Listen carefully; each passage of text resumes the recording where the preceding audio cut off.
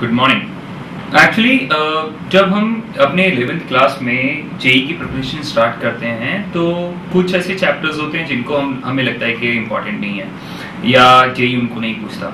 अगर हम पिछले साल के जेई के पेपर्स उठाकर देखें तो देन विल फील के फिजिक्स में केमिस्ट्री में, दोनों में मिला के आई सिग्निफिकेंट फिगर्स के बारे में काफ़ी ज़्यादा पूछ रहा है। एंड द थिंग इज़ कि जितना आप मैकेनिक्स पढ़ते हो हाँ तो मैं जो बोला था आपको कि सिग्निफिकेंट फिगर्स के बारे में हम काफ़ी कम पढ़ते हैं। बट द थिंग इज़ कि अगर आप पुराने पेपर्स उठा के देखेंगे तो उसमें आपको दो से तीन क्वेश्चन हर बार मिलेंगे। हम इसलिए कम पढ़ते हैं क्योंकि हमें लगता है कि द टॉपिक इज़ बोरिंग और समथिंग लाइक दैट कि यहाँ पर बहुत ज़्यादा थियोरिटिकल चीज़ें हैं जो कि मेरे को याद रखनी पड़ेंगी। But if we understand those things then we can do it very in a very good way see a very simple example let me ask you all अगर uh, आप थोड़ा सा भी इसके बारे में सोचेंगे तो you can answer say a person name Ramesh Ramesh ने अपना घर बनवाया. And the height of the ground floor जो उन्होंने बनवाया तो जब उन्होंने बनवाया तो उन्होंने कंस्ट्रक्टर से पूछा कि ओके टेल मी कि इसकी हाइट कितनी होगी? तो कंस्ट्रक्टर से हट के मेरे पास जो स्केल है उसमें सिर्फ़ फिट्स तक की मार्किंग है। उसमें इंचेस की मार्किंग नहीं है। तो Ramesh said okay tell me feet तो उन्होंने कहा इसकी ऊंचाई 8 फिट है। ओके फाइन 8 फिट मतलब ऐसा हो सकता है कि उसकी ऊंचाई 8 फिट 1 इंचेस 8 फुट 2 इंचेस या फिर seven feet ten ten inches seven feet eleven inches कुछ इस तरीके की ऊंचाई रही होगी लेकिन अप्रोक्सीमेटली राउंड ऑफ़ करके uh, रमेश के कंस्ट्रक्टर ने उसको बता दिया कि it is eight feet uh, son grew up and uh, he said कि मैं भी इसके ऊपर एक फ्लोर बनवाऊँगा। ठीक है? He called his constructor and उसने ग्राउंड फ्लोर के ऊपर फ़र्स्ट फ्लोर बनवाया एंड ही आज हिज कंस्ट्रक्टर ओके ये जो मैंने फ़र्स्ट ग्राउंड फ्लोर के ऊपर जो फ़र्स्ट फ्लोर बनवाया क्या इसकी हाइट में मेजर कर सकता हूँ?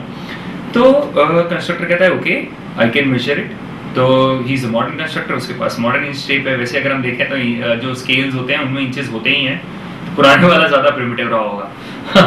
तो ऊपर वाले की हाइट मेजर करी गई तो it came out to be eight feet two inches आठ फुट दो inch now if I ask you what is the total height of the building and you say 8 feet is the ground floor and 8 feet 2 inches is the uh, say first floor so it is 16 feet 2 inches is it a correct answer or IIT अगर ये question पूछता है आपसे और आप इसका 16 feet दो inches answer देते हो टू इंचेस आंसर देते हो और आईआईटी अगर आपके उस आंसर को कैंसिल आउट कर देता है रूल आउट कर देता है तो अनजस्टिफाइड नहीं है you think of it actually नीचे वाले में आपने आठ फुट बोला, ऊपर वाले में आपने एट फुट टू इंचेस बोला और दोनों को जोड़ के आपने सिक्सटीन फीट टू इंचेस बोल दिया।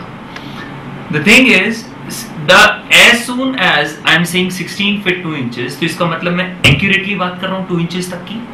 तो इसका मतलब अगर मैं आपको बोलूँ कि इसकी ऊंचाई 16 फीट 2 इंचेस है तो मेरे 2 इंचेस बोलते ही आप समझ जाएँगे कि सामने वाला इंचेस तक की एक्यूरेसी की बात कर रहा है। इट इज़ 16 फीट 2 इंचेस लेकिन आप देखिए ना, नीचे वाला तो 8 फीट एक्चुअली था ही नहीं। It can be 8 feet 2 inches 8 feet 3 inches 7 feet 10 inches कुछ भी हो सकता है। तो इसका मतलब 16 फीट 2 इंचेस मेरा बोलना गलत है।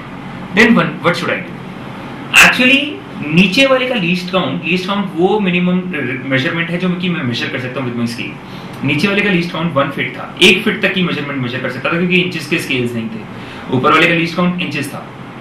आ, हमेशा एड या सब्ट्रैक्ट करने के बाद अपने आंसर को फाइनली उस लीस्ट काउंट तक राउंड ऑफ़ कर दो जो कि अच्छा लीस्ट काउंट नहीं है। से ऊपर वाले का लीस्ट काउंट था वन इंचेस नीचे वाले का लीस्ट काउंट था वन फिट तो वन फिट अच्छा लीस्ट काउंट नहीं है ना। You are not accurate less accurate least count तक आप उसको राउंड ऑफ़ कर दो तो you round off your answer 16 feet 2 inches to uh, nearest feet and it comes out to be 16 feet.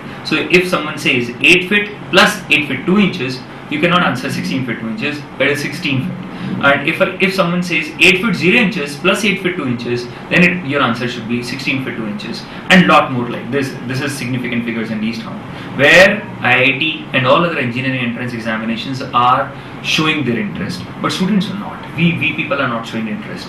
But it is an interesting topic. You just spend half an hour or an hour so and you'll be able to crack three to four questions just by looking at the logics without remembering uh, remembering the two lot more of concepts